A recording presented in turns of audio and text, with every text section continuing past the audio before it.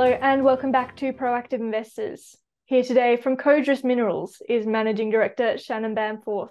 Shannan, great to have you with us in the Proactive studio today. Uh, great to be here, Alicia. Thank you for having me. So you're set to present at the Peak Asset Management Microcap Conference next week, Shannan. Give us an elevator pitch and introduce us to Codrus. Yeah, well, Alicia, Codrus is a junior exploration company focused on rare earths and essentially that real critical minerals space. Uh, our key project at the current time is the Karloning project in Western Australia. Uh, we've had some tremendous results there over the last couple of months, um, and we look forward to really growing that project and building our presence as a critical minerals explorer. Now, Codrus's portfolio includes projects over in Western Australia and Oregon in the US. You're looking for those high value critical min minerals, as you mentioned, but really the predominant focus is on those rare earths in Western Australia. Yeah, it's fantastic to have a portfolio of projects where we can look at critical minerals both in Australia and in the US with uh, copper, molybdenum um, possibilities in the US. Um, we're really keen to get over there and get drilling. But in the short to medium term, there's a massive focus on the rare earths in Western Australia at Karloning. Uh, a wonderful project, three and a half hours out of Perth.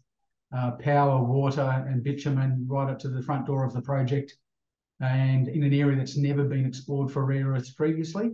Uh, so, being that first mover advantage into that part of the, the wheat belt is a massive uh, benefit for us. So, Shannan, as you explore and develop these essentially underloved projects, tell me what's in the pipeline? So, our next real big program is to get into the field at Karloning on the rare earths. Uh, our first drill program, uh, we had 11 of the 13 holes come back with really strong clay rare earth mineralisation with really good grades. And we're looking at expanding that footprint out in an area of up to 1.8 by 1.5 kilometres. So we'll be drilling in there in late July. Uh, assay results late September is probably going to be the, the turnaround time at the current time. But we think that's really going to show the scale and scope of the project and that this is something that could really be a viable opportunity.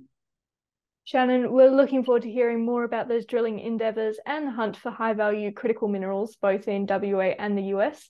Thanks for your time, and we're looking forward to seeing you at the Peak Asset Management Microcap Conference next week. Look forward to seeing you there, Alicia.